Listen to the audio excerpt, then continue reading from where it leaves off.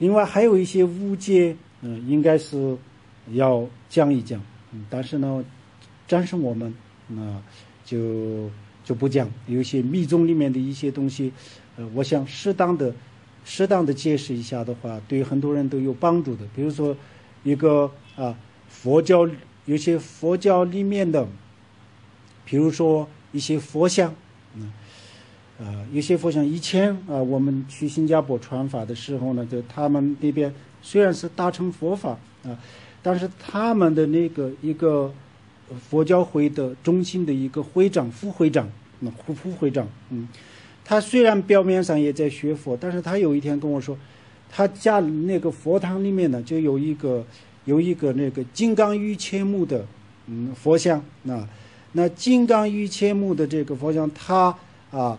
带了一个人头的这个项链嘛，啊，人头的项链，嗯，他有一天就是很不高不高兴的，很很不高兴的态度说，他说，这个人呢，这个人为什么要就人都已经死了，就是死了就偷偷啊那个死了以后，为什么还要把人的头啊骨头骨啊就挂在脖子上呢？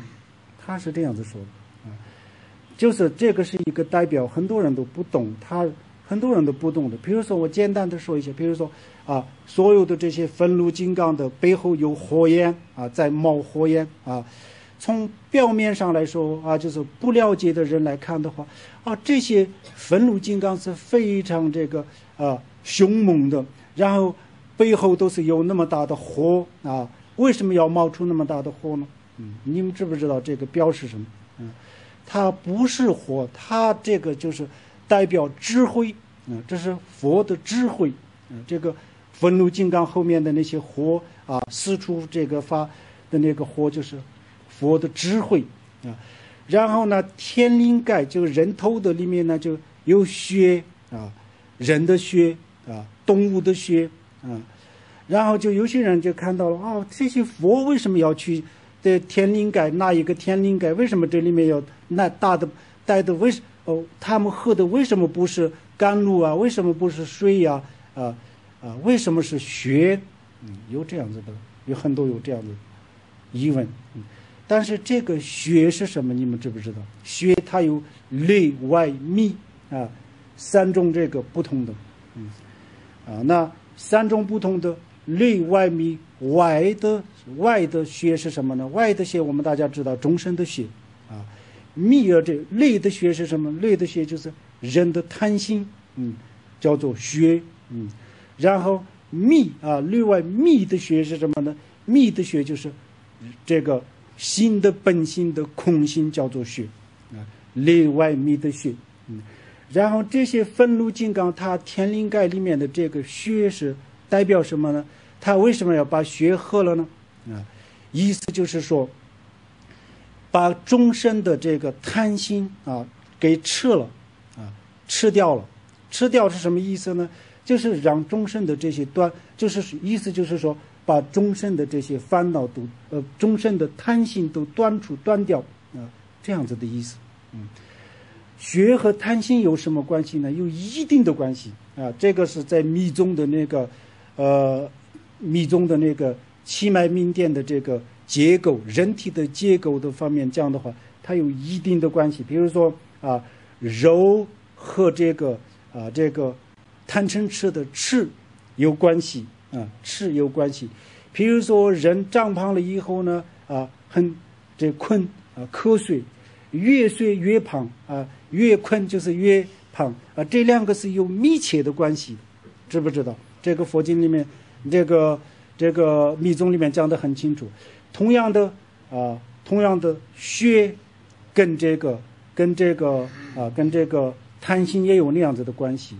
然后呢，整个在这个世间当中的有情无情的所有的红色的东西，也都叫做血啊。红色的东西，它是一个特殊特特殊的颜色，它是发它的这个源头在哪里？就是人的这心里面的一个呃一个念头，跟贪心有关系的一个这样子的念头，它出现的。这任任何一个红色的红的颜色都是这样子，嗯，所以天灵盖里面，它不是在喝血，它就是断除人的贪心啊，断除人的贪心。人的贪心断除了以后呢，这就是推翻了整个的轮回啊，推翻了整个仙宗和密宗，它要达到要达到的目标是一个目标，方式就不一样啊。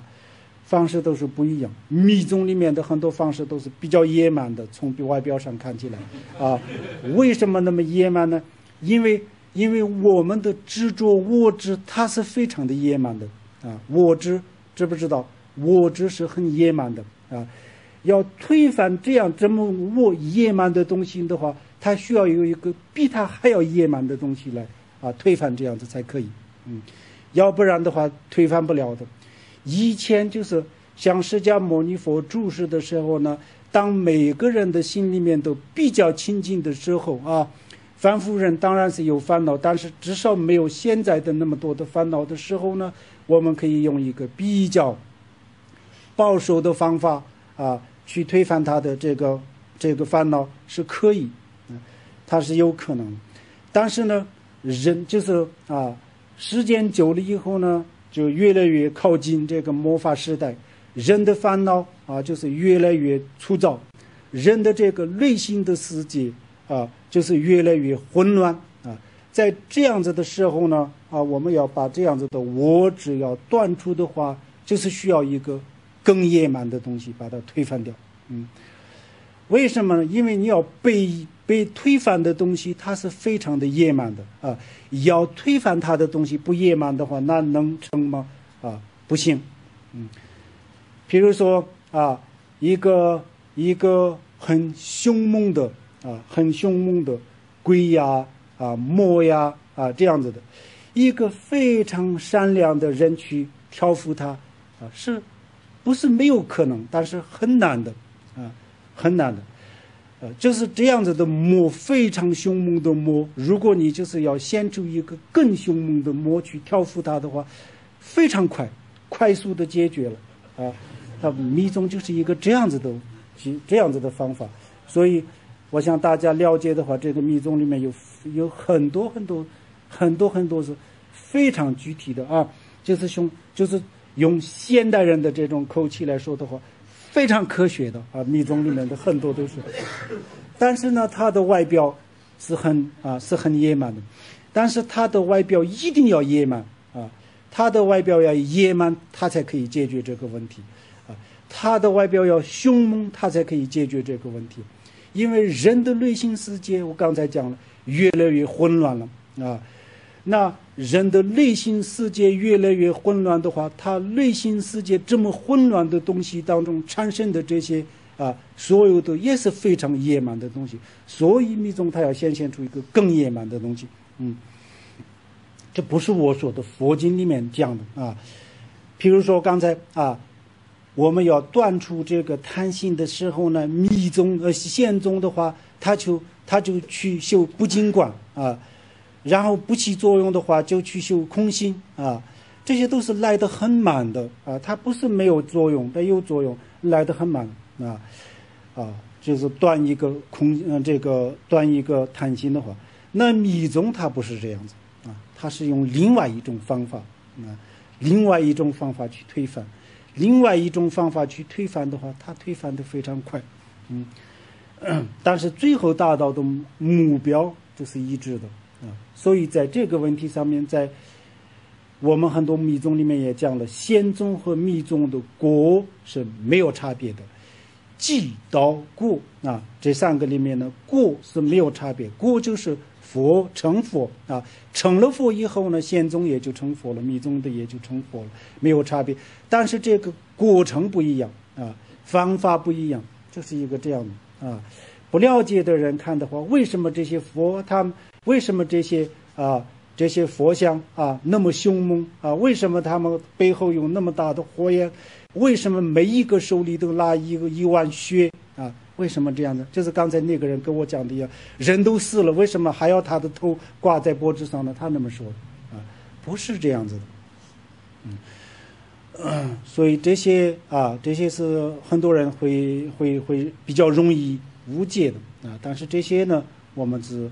不是很公开的说，他误解也是没有办法的，因为这个呃密宗保密的方法，呃这个上面呢啊没有抓的没有抓的呃好啊，所以就是公开了以后呢，很多人都不理解。密宗最早的时候呢，他非非常讲究这个要保密。为什么保密呢？是不是密宗里面有什么问题呢？不是有什么问题，它是一个非常啊非常准确的这个修法。但是呢，就是刚才他用的方法都是普通的人就是啊看不惯的东西，所以他很多人不了解的人啊就会有这个误会啊，甚至是有邪见。那有了邪见的话呢，这些众生会堕地狱啊。这是。密宗他不许啊，不想啊出现这样子的问题，所以他要求保密。但是现在啊，就没有什么保密了，除了一些具体的修法啊诀窍，这些呢还是在这些成就的那些上师们的这个心里面隐藏着。其他的这些书呀、佛像啊，都全部已经公开了啊。以前就是一有些佛像呢啊。有些佛像呢，根本这个啊，根本是不能打开的。比如每个唐卡。它上面呢啊有一块布啊把它覆盖啊，然后那个那个啊有些非常要求严格的那些那些唐卡呢啊，它永远都是没有关过丁的呀，或者是没有真正的这个修行的人啊啊啊，他他永远都把这个不不能不能去不能碰都不能去碰啊。但是现在以前碰都不能碰的那些，现在都在这个市场上卖啊，就是那些东西啊。就是这样子，已经现在没有办法公开，没有办法这个保密了。但是我们现在保留的是什么呢？就是密宗的一些具体的修法啊，还是不在这个，不在这个市场上啊。有些假冒的人出来以后呢，说我有什么啊，有什么呃这个，有什么这个很深深的秘法呀啊等等等等，就是去说一些。但是真正的，如果他精通的话啊，那他也不会。啊，随便乱传啊！那不懂的人的话，他也不能，他也实际上他也啊不会传，他也传不了什么，因为他自己都没有啊，他自己都没有这些诀窍，他自己都不懂，那就他也传不了什么。所以一些密宗里面的一些具体的啊一些修法、一些诀窍没有公开而已啊，其他的这些佛像这些都公开了。所以我想啊，你们也应该。呃，去了解一下啊，密宗的佛像每为什么每一个都是啊那么凶猛的呀？然后不能说这么简单啊，然后每一个具体的啊，每一个具体的佛像上面的任何一个啊细节，它都是有，它都是有很多那些呃很多这个意义，而且这些意义都是有内外密。啊，有很多的这些，我们在这个里面就是像佛一个密宗的佛像里面，佛像的他手里的这个天灵盖里面的一个穴啊穴，我们从这个里面都可以挖掘出整个的这个佛教的啊修法，整个的佛教的意义，整个佛教的慈悲和智慧，从这里面都可以挖掘出来啊，所以啊不能。啊，轻易的评价任何一个佛教的修法，或者是任何一个宗教，这是非常重要的啊，这是我们的原则啊，这是很重要。但是这些今天我们啊，就这次我们就啊不讲这些啊，这次我们就简单的啊介绍呃这个藏传佛教，也就是啊就介绍就这么一点啊，呃本来呢啊很多人就不太了解的。呃，并且比较容易这个误会的，就是密宗的一些佛像啊，等等等等的，呃，应该是需要加以一些解解解释，但是这次我们就不讲啊。